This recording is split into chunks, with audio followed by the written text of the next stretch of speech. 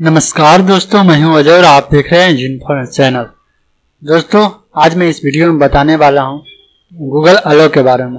दोस्तों, आज ये ऐप जो है, रिलीज़ हो गया है। कुछ दिन पहले जो है प्री लॉन्च आ रहा था प्री रिलीज़ का ऑप्शन आ रहा था, वहाँ पे आप रजिस्टर कर सकते थे, ताकि जब ये रिलीज़ हो तो आपको न्यूज़ मिल जाए। लेकिन अब इसकी टेंशन नहीं है, अब रिलीज़ हो गया फाइनली आप गूगल प्ले स्टोर से आप इसको अपने एंड्रॉयड में भी डाउनलोड मतलब डाउनलोड करके इंस्टॉल कर सकते हैं और आईफोन के लिए भी ये रिलीज़ हो गया। दोस्तों, इसका खासियत क्या है?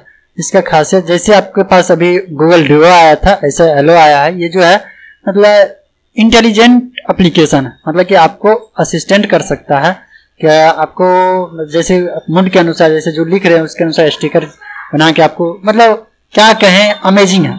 मैं अभी जस्ट यूज़ किया हूँ डाउनलोड करने के बाद। और आपको, जैसे कि जब फ़्लाइट के बारे में न्यूज़ मिल रहा है तो वो मिल जाएगा। फ़िलहाल आपको एक एग्जांपल देता हूँ। अगर डायरेक्ट आप गूगल डॉट कॉम पे कुछ टाइप करते हैं करेंट डेट या करेंट टाइम तो ऑटोमेटिकली ये डिटेक्ट कर लेता है। इसी तरह, इसमें क्या है कि ऑटोमेटिकली डिटेक्ट करके आंसर कर देगा। दूसरा खासियत है कि आप इसमें जो फ़ोटो जैसे आप सेंड कर रहे थे उसमें आर्ट वर्क भी ऑटोमेटिकली कर लेगा। जैसे रेनबो कहे तो रेनबो को सिलेक्ट करके आपको बता देगा और अच्छा अच्छा डिज़ाइन बना देगा। पसंद होगा इसके बाद आगे आप प्रोसेस कर सकते हैं अदरवाइज़ उसको कैंसिल कर दीजिएगा।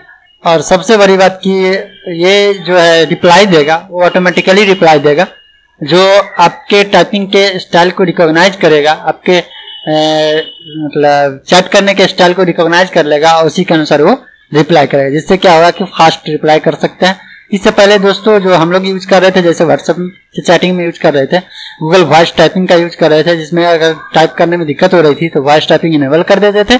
और जैसे जैसे बोलते जाते थे, जितना स्पीड में वो ऑटोमेटिकली टाइप करते चला जाता था, और लास्ट में आप सेंड कर देते उसमें कुछ प्रॉब्लम आती थी।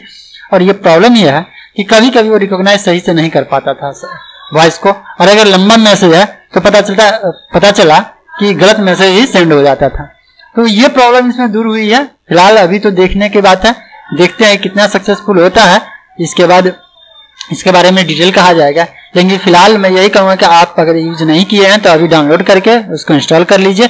उसके यूज़ कीजिए और फिर उसका अगर आपको सही लगे तो रिव्यू वहाँ प्ले स्टोर पर ही डाल दीजिएगा रेटिंग भी डाल दीजिएगा। तब तक के लिए जय हिंद, जय भारत। अगर मेरे चैनल को अभी तक सब्सक्राइब नहीं किया है सब्सक्राइब करना ना भूलें। Thank you